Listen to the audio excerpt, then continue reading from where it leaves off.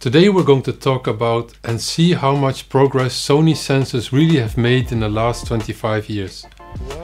As someone who delves into camera reviews and crazy comparisons, I'm always fascinated by the specs, the promises and the reality behind these technological marvels.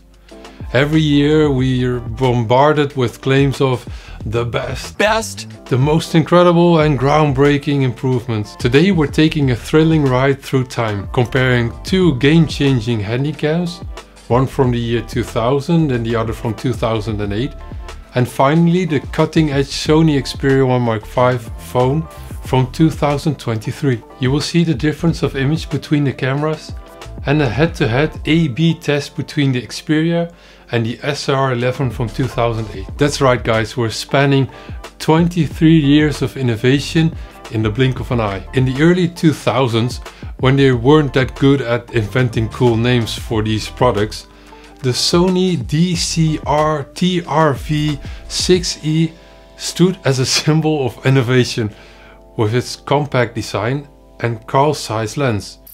The quality of colors, white balance and operation in all situations like low light was amazing in that time. Ages later, the appetite for higher quality and more storage grew exponentially. Enter the Sony HDR SR11E, a marvel of its time. From the standard definition 640 to 480 pixels to high definition 920 by 1080 pixels was a 6.7 times higher resolution jump and no more 60 minute mini DV tapes but hours of hard disk recording in the palm of your hand. True progress. Between the TRV6 and the SR11 was a huge step. Fast forward 15 years into the era of smartphones, the Sony Xperia 1 Mark V represents the culmination of Sony's technological progression. With a triple lens camera system co-engineered again with Zeiss Optics, the Xperia 1 Mark 5 captures stunning 4K HDR videos. But I don't think you will find it such a huge leap of progress from the SR11 to the Xperia. In some cases the 15 year old Handycam even is, is better. Of course the TRV6 doesn't have to be in this AB comparing. It has a 4x3 aspect ratio, so you would immediately see it. Now, instead of talking, I want to show it to you. And you decide for yourself.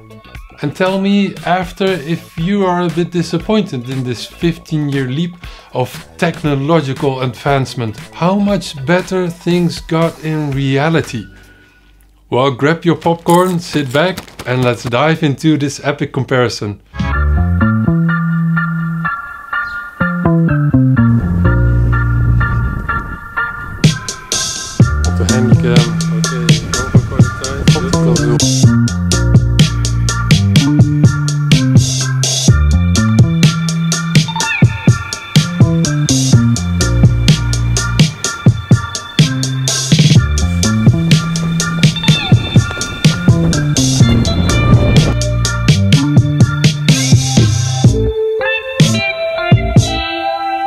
Want to see more about the Xperia? Check out this popular video comparing it to the iPhone. And like and subscribe to see more filmmaking and photography videos. That would help the channel a lot. Now the result. Many times in daytime, the color, I prefer the Handycam. And in low light, you don't have this weird purple tint. So I think you can know that the result is, drumroll please, camera A is the Handycam and camera B is the Xperia 1 Mark V. Mind blowing, right?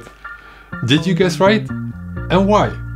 Tell us in the comments below. Thanks so much for watching, guys.